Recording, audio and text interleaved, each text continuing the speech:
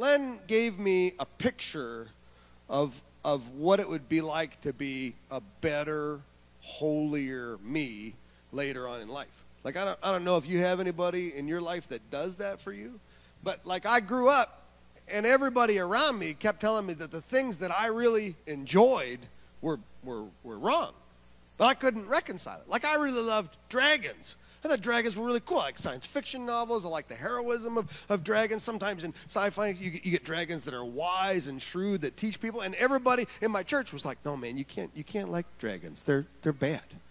And I really like griffins. You know, griffins are composite creatures, you know, and they're, they're little bits of, of maybe lions or little bits of, of, of birds, and they're, they're brought together. And it just seemed to me like so, so magical, so beautiful. And everybody in my church was like, no, you can't like those. They're bad. No dragons, no griffins. Then I just really like monsters. You know, I just thought it's something gargantuan, something, something at scale that sort of just was impressive. People, like, you, you can't like monsters.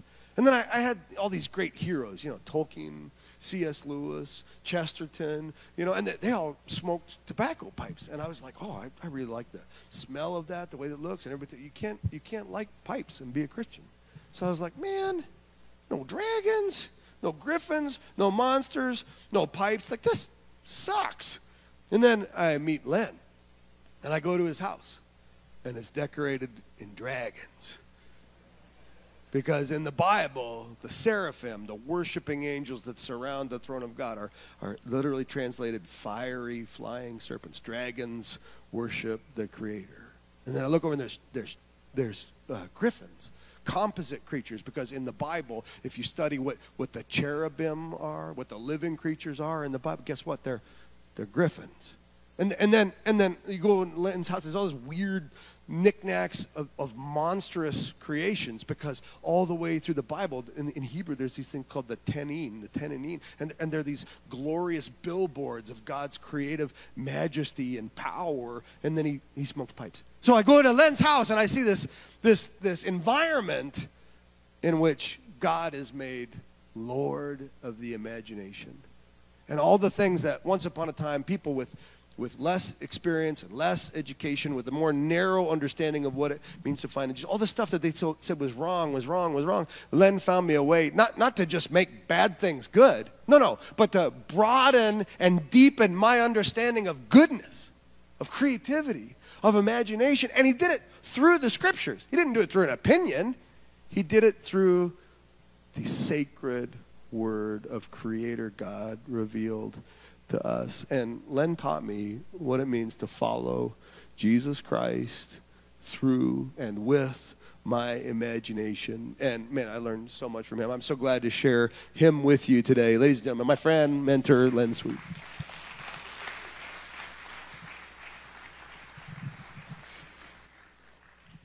Is this a great day or what? Is this a great church or what?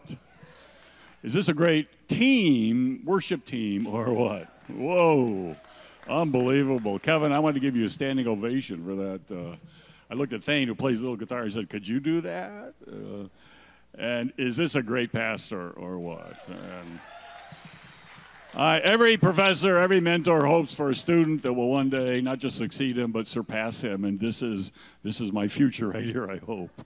I hope. Uh, don't you disappoint me, David. Uh, but uh, I greet you in the name of the one who is, who was, and what's the last one? Is to come. Now that's the that's the literal meaning of the Aramaic word with which the Bible ends. We translate it, Maranatha, as what? Come, Lord Jesus. No, it's in three tenses in Aramaic. Come, the one who has come, the one who is come, and the one who is to come. So I greet you this morning in that ancient greeting of the early church in, Mer- in Aramaic that comes in three tenses. tenses. Now, we have a three generational God. It's always amazing to me. We, we miss this. Everyone wants to focus on this generation and that generation. But we have a God who is the God of Abraham, Isaac, and Jacob. Think about it. This is how God wants to be known. I am the God of Abraham, Isaac, and Jacob. And I'm going to take just a little moment of personal privilege this morning and celebrate that we have three generations of sweets here this morning. And my son and his wife Maggie, who's a, a native Jacksonian, is that what you call yourself? A Jacksonian?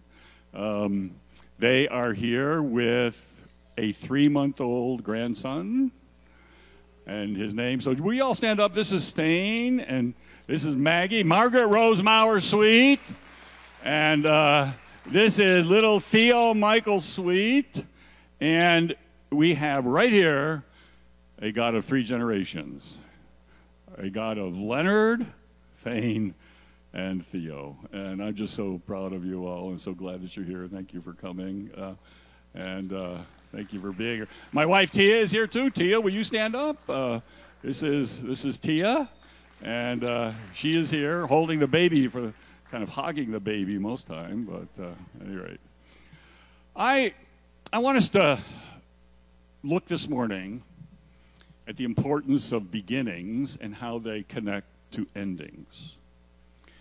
And in your beginning is also your ending.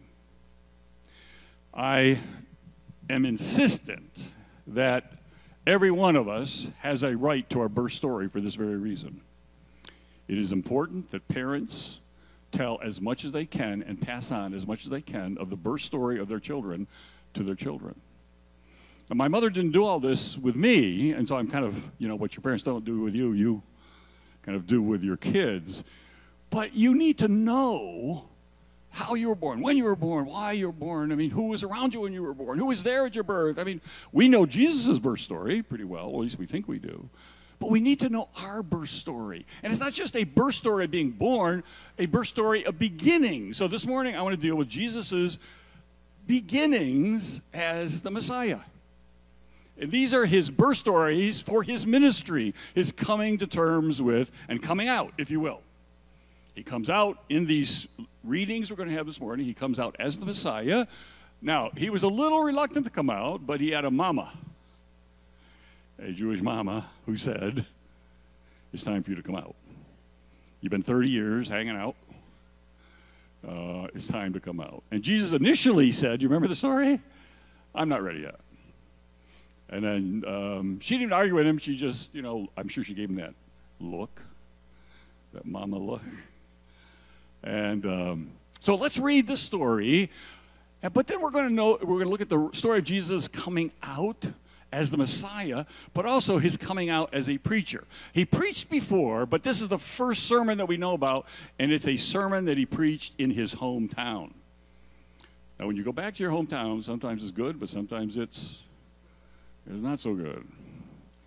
And this is a story of Jesus' hometown reception of his first sermon to them after he come out as the Messiah. Just to um, kind of prepare you for this, Jesus gave us a sacrament of failure.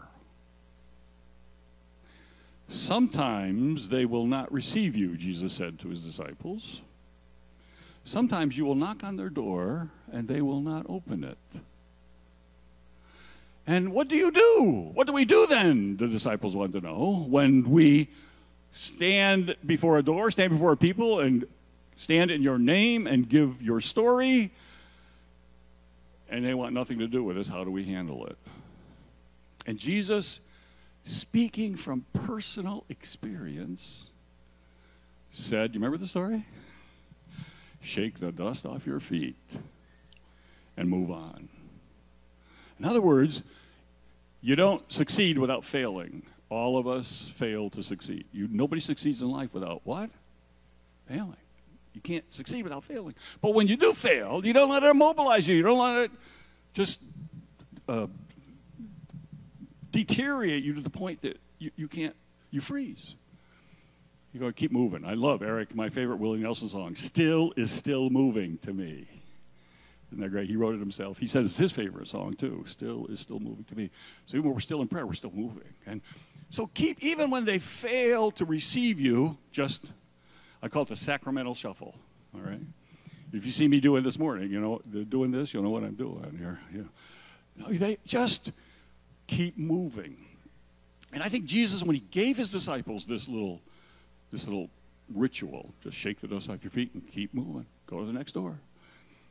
He's thinking about this story we're going to read this morning. But what happens in his hometown? His very relatives, because Nazareth is a small place, and everybody's basically Mary's relatives, part of his own family.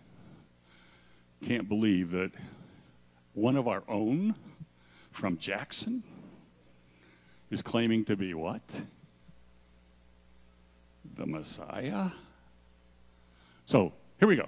Let's start with the, the first miracle, and then we'll go to the, the, first, the first sermon. Now, this is the first miracle. John, John has seven signs that testify to Jesus' authority as a Messiah. The other Gospels, Matthew, Mark, and Luke, don't do signs so much as they do stories. The stories, the authority of his stories, the authorities of his witness himself. Um, but here we have the first of seven signs, and this is one of my, my favorites right here. It's a wedding that Jesus attended with his disciples, and this wedding they ran out of what? Yeah, they ran out of wine. Now, one of the worst things that can happen to a host is you run out of food before you run out of guests. And some of you, just, you can feel the shivers up your spine right now. You know, we got more guests coming. We have no more food. This especially so in the first century because weddings were the most significant event in the life of a family. Now it's very different back then because today who pays for the wedding? The father of the yeah. Back then, the father of brides paid for nothing for marriages. I mean, it was good if you were a father bride back then because the you got paid, you didn't have to pay. I mean, you got paid a dowry, you got paid presents, you got paid uh, part of the part of the dowry could go on for ten years. I mean, so you you were in receiving mode. If you're the father of the groom, okay, you pay.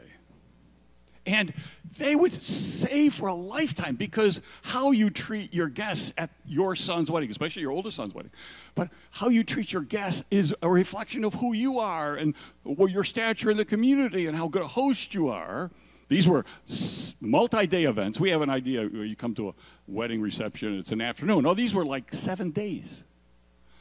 You, you, you, took the whole kit and caboodle family and you went to somebody's wedding feast, wedding reception, and you camped out. So it's like a camp, camp meeting. And you go camping. And the host is supposed to feed you for as long as you are there, as long as you're a guest.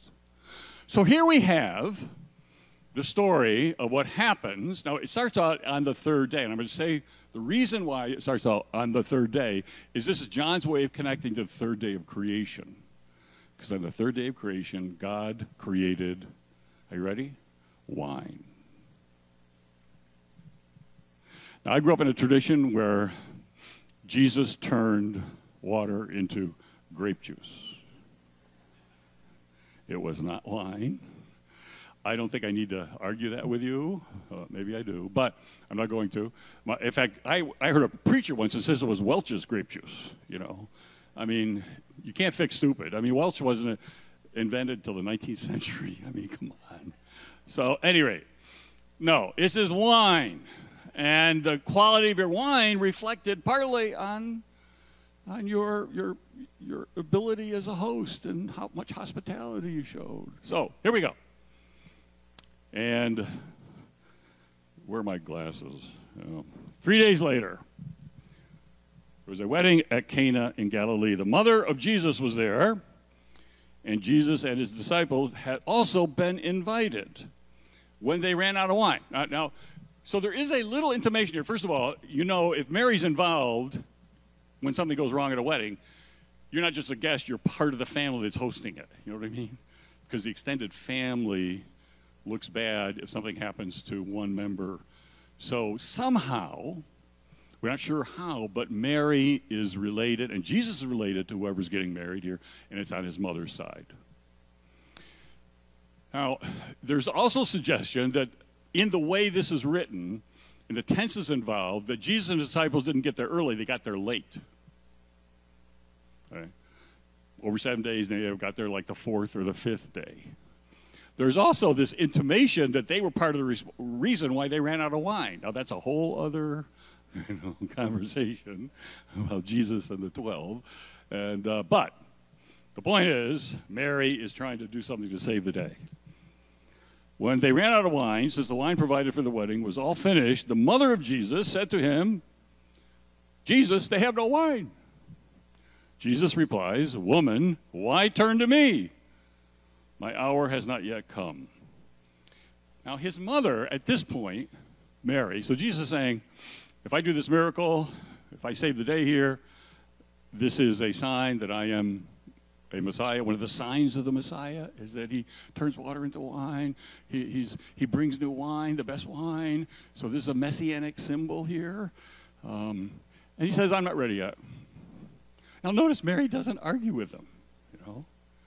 She just kind of gives him that mama glare, I think, as he says, I'm not ready yet. My time has not yet come. Ignores him. Okay? And here's what she says next. And she says to the servants, You do whatever he tells you. In other words, he's going to tell them something. Regardless of what you say, Jesus, you're my son. It's been 30 years we waited. It's time. And so she ignores his saying, I'm not ready yet. And she says, Do whatever he tells you. There were six stone water jars standing there, meant for the ablutions that are customary among the Jews. Each could hold 20 or 30 gallons. Jesus said to the servants, Fill the jars with water. And they filled them to the brim. Draw some out now, he told them, and take it to the steward. They did this. The steward tasted the water, and it had turned into wine. Having no idea where it came from, only the servants who had drawn the water knew. The steward, the steward's like the caterer, you know the caterer calls the bridegroom and says, People generally serve the best wine first and keep the cheapest sort till the guests have had plenty to drink, but you have kept the best wine till now. And this was the first of the signs given by Jesus. It was given at Cana in Galilee. He let his glory be seen, and his disciples believed in him. Jackson, Michigan. I spent a lot of time in Dayton, Ohio. We had the same problem water. The key to good anything, whether it's coffee, wine, beer, lemonade, is you got to have what? Good water. And the one thing you don't trust, at least when I was in Dayton, Ohio, is the tap water. The best water. Notice Jesus, the best wine ever made in the history of the world, it comes from distilled water, purified jars, purified water, holy water, if you will. So making good coffee is not just about, and Jesus showed here, it's not just about the grape or the bean. It's also about start with the right water. You didn't know how relevant the Bible was, did you? I mean, and he starts with the white water. Now, here's the here's the mystery to me, and we we don't have time to go into this, but this is you got to use your biblical imagination here, your sacred imagination, your sanctified imagination. Jesus always, when he healed anything or or did a miracle, he always had leftovers. Jesus is always leaving leftovers. And after he made this wine that everybody's tasting and going, we never tasted anything like this before. This is the best wine everybody's ever. Where did this come from? Right. Did you ever think about this? Jesus is the master vintner. I mean, 30 AD vintage, best wine ever made. It's harder to get a, it's called an MW, a Master Wine. It's harder to get an MW degree than a PhD degree. And Jesus is the greatest MW, Master of Wine, that ever lived. And he makes this incredible wine that people can't stop talking about. And, and, and the word spreads. And some of the other, we have stories about the word, the word spreading, about this incredible wine that nobody's ever tasted anything so good before. And there's all this wine left over. Now, here's where your imagination comes in. If you're reading the Bible imaginatively in a sacred, sanctified way, in a biblical way, you got to question what happened to all those extra wines. We got 600 bottles at least of wine Jesus made. I mean, there's no way that many there are that many people there. Nobody can drink that much. So what happened to all those hundreds and hundreds of bottles of wine that were left over? Where'd they go? Who got them? Is there still one out there? There's a novel waiting to be written. But forget about the, you know, the chalice. what about the wine that went in it? Where is it? Well, we do know that since weddings were so expensive, that if you had leftover wine from your marriage feast, um, you would offer it up for auction. A couple days later, you could put it up for auction or sometimes immediately after wedding. It was, it was really wide, um, wide variation. And the guests and some other people who had heard about the wine, whether it was good or not, would bid on it. And uh, that was a way in which the bridegroom's father could defray some of the expenses of the, of the wedding. So think about this. So, if indeed um, some of this Jesus wine, you know, last year a bottle of wine sold for $131,000 at auction. So if some of this Jesus wine came up for auction back then, who would have been there to bid on it? Wow. Well, once the word got out, this is the greatest wine anybody's ever tasted, you know, I guarantee you who's going to be there. Servants of Caiaphas, servants of Herod, servants of Pilate. They're going to be at this auction bidding on, uh, you know, um, which just stimulate. Let your, when you read the story, kick your imagination in gear. Now, this is, you, you can't say, well, the Bible says this. No, but it's a good, let's talk to our kids about this kind of stuff. Let's get them involved. And what do you think might have happened to that, those extra bottles of beer, no, extra um, bottles of wine on the wall? Where did they go? Who might have had them? Could there still be one out there? Now, this is the first sign that Jesus the Messiah. It's a wedding feast, a marriage feast. The number one sign of the kingdom of God is a what? Feast. If you're reading the Bible and you're not getting hungry, you're not reading it right. Because Jesus is a foodie. He's always eating. Revelation 3:20, behold I stand at the door and knock. If anyone will open it, I will enter. And it ends there, right? No, I'll enter and you better have some food ready because I'm going to come in and sup with you. Hey. The symbol of God, the symbol of heaven is a banquet, a messianic banquet, a marriage banquet, the marriage of the Lamb. And the bride and the bridegroom come together, and Jesus and his church are united. Okay. Well, so let's see what the first sermon is. Here we go. This is Luke 4.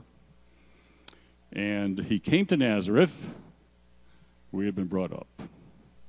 And he went into the synagogue, went to the synagogue on the Sabbath day, as he usually did. He stood up to read. And they handed him the scroll of the prophet Isaiah. Unrolling the scroll, he found the place where it is written. Okay, now you got to picture this. Got to picture this. It was probably an outdoor synagogue. Nazareth, very small. We're talking about these are all Mary's relatives, only a couple hundred people, they're all re- related. Um, Jesus, on the Sabbath, comes out. They've created an outdoor synagogue, probably a table, and he stands in front of the table, and they give him, they take out of the ark, they give him the scroll of Isaiah. He can go anywhere in Isaiah and pick anything. And he himself picks on the spot for his first coming out sermon at his hometown. Isaiah 58 and 61. But he picks these passages not even in order, okay? So as he's reading them, as you, he's not really reading them from the scroll. He's reading them by heart. I mean, I could open up the Bible and look like I'm reading it, but I can actually read it by heart, some of it. And when Jesus reads it by heart, he doesn't even go in order. He starts with 61 first, and then he goes to 58. And he doesn't get any, he doesn't get the exact quotation right. Because when you take something in by heart, when you learn it by heart, you make it your own. So each of you is writing in your own heart a new message Bible. You're translating the Bible into your own heart, into your own language. When it comes out, it doesn't come out exact. It shouldn't come out exact. Jesus never once quoted the Bible exactly as it is in the original scripture because he's quoting it from heart. Do you know the Bible that well? Do you know the stories that well? That when you tell them, you're telling them in your own words. You're true and faithful to the story, but they're coming out. And that's what Jesus is doing here. So he is, his first sermon, this is his text. It's Isaiah 61 and 58 mashed together. It's a mashup. Here we go. Unrolling the scroll, he found the place where it is written. Again, it's not written in this order, but this is what he's going to do. The Spirit of the Lord is upon me. God has anointed me. All right, that's pretty big. He has sent me to bring He's got a five point mission. You got a mission point across the street. This is Jesus' mission statement. I don't know what your mission statement is. This is Jesus' mission statement. It's got five points. We got a mission story, which is changing water to wine at a wedding feast. That's the mission image and mission story. But here's the mission statement He has anointed me, number one. Are you ready? To proclaim good news to the poor. Let's stop there. If it's not good for, news for the poor, it's not good news. If it's not a gospel for the poor, it's not a Jesus gospel. If you're hearing good news and it doesn't have good news for the poor, it's another gospel. Number two. He has sent me to proclaim liberty to captives. In other words, freedom for prisoners. Jesus had a tender heart for prison ministry. Jackson. Jesus is always talking about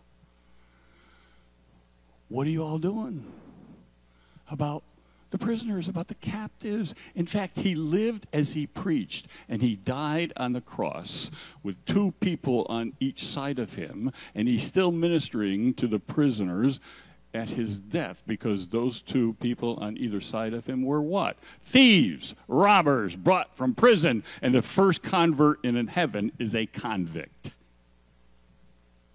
a prisoner. Today you will be with me where? In heaven. He has anointed me. Bring good news to the poor. Proclaim liberty to the prisoners. To the blind, new sight. Now, really, the blind means here to those sick and diseased, healing. Um, we talked this week. Earliest translation of Jesus Saves. I grew up singing a song, You have heard the joyful sound Jesus saves. Anybody? Am I the only one? Thank you. You're saving me right now. Jesus saves. Forget that. The original Greek. We have heard the joyful sound. The Greek is sozo. Jesus heals. Jesus heals. Jesus heals the wounded. He heals the brokenhearted. He heals the downcast. He heals the. Yes, they're. Saving is also a health word. Saving and salve are the same word. No, ointment, anointing ointment, oil of healing. But the real fundamental concept here is that Jesus heals all our diseases of mind, body, and spirit. Now, the next one is he frees releases the oppressed. Now, the real oppressed here, when you think oppression, we think of economic oppression. But back here, you're oppressed by the devil. How are you oppressed by the devil? You can be oppressed economically, you can be oppressed physically, you can be oppressed emotionally, you can be oppressed and to the point where you're depressed. So oppression was a hard, uh, was a big, huge word that covered all sorts of things, not just you know, political and economic and other kinds of oppression. Um, it's frees you from all those things that are dragging down your spirit and dragging down your life. And after those four things comes the biggie. And to proclaim the year of the Lord's favor. Now you go, why is? Now this is huge. The year of the Lord's favor is a special phrase. Every Hebrew would have known it because they didn't want to say the word because it was so holy and sacred and such a dream. But the year of the Lord's favor was a shorthand, we call it a sobriquet, a shorthand for one word Jubilee. To bring in, Jesus is announcing, Jubilee. Now, when you heard that, you would have, your ears would have gone, whoa, you got to be kidding. See, the greatest dream of the Jews, when they thought of kingdom, and of, you know, a land flowing with milk and honey, a land of the future, they thought of the word, they thought of this thing called Jubilee. Seven, three sacred numbers, three and seven, the most sacred, most perfect numbers. Okay. Seven, you got, you know, seven churches, you got seven signs, you got all these sevens but seven squared. In other words, you, you per, the seven is the perfection. You square it. Seven times seven is what? Yeah, 49. But if you add, so that's, that's perfection itself, squared. But if you add one to the seven times seven, to, to, one to perfection, it means it's a whole new order, it's a whole new time, it's a whole new day. We're starting over, we're back to zero. So, Jubilee, Matt, guess what? You freed all your prisoners. You freed all your slaves. You fro, you fro, fro uh, you, you freed all your debts. What, what is that word? You, you forgave, yeah. You forgave your debts. So people in Jubilee, everything went back to zero. The land even was allowed to go lie fallow. You didn't till it in the 50th year because it was a time of Jubilee. Everything started over. You forgave everyone, everything, and you went back to the beginning and started over in this new heaven and this new earth. And this is Jesus proclaiming that he is Jubilee. He is to bring back. He's to. Good news to the poor, freedom for the prisoners healing to all the sick, freedom for all the oppressed. And all four were answered in that one word Jubilee. And when his hometown heard these words, when he pronounced himself Jubilee, they just got so excited that their local boy made good. Um, you know the rest of the story. They got so embarrassed and humiliated that one of their own would proclaim himself somebody who actually came out of Nazareth. Can anything good come out of Nazareth? And here we got, they even thought that about themselves. And here we got somebody named Jesus who comes out of Nazareth proclaiming that he is Jubilee. What did they do next? Anybody remember? His own family, this is his own family, tried to do an honors killing. Let me repeat. Ever wonder why Jesus, when you read, he's not your focus on the family guy? Some of the harshest things he has to say are about family. Ever wonder why Jesus never had any of his disciples as one of his brothers or people he grew up with in Nazareth? Because his own family, when he proclaimed in his first sermon, this is an interesting reaction to a first sermon. And he himself probably started shuffling at this point. But he did a fast shuffle because they were going to throw him off a cliff. You know what that means? Capital punishment took two forms for Jews. For Romans, it was crucifixion. For Jews, it was stoning. Two ways of stoning. You put them in a pit and you throw stones down on top of them, or you take them and throw them off a cliff and they die on the rocks. That's the two ways of dealing. Families dealt with disgrace, dishonor, and shame brought about by one of your kids. You're Jesus' own family prepared to restore their prestige by taking care of this embarrassment. And Jesus shuffled out of there. See, he managed to escape their attempts to hurl him off a cliff. Sisters and brothers, Jesus is our Jubilee. I talk about Jubilee now, really, more than I talk about kingdom. Because the kingdom of God is Jesus. Jesus is Jubilee. And we're going to sing a song just in a minute that talks about how freedom is a name, but it's a name for Jesus. And what we're going to do when we sing this song, I want you to see when you see the word freedom, I want you to replace it with jubilee. Just that word. Because Jesus is your jubilee. Jesus is your freedom. Freedom for the poor, freedom for the sick, freedom for the prisoners, freedom for the oppressed. Jesus is our freedom. And we need to live in the light every day of this freedom in Christ, this Jubilee Jesus. And Jubilee is a state of celebration, feasting, dancing, eating, conversation.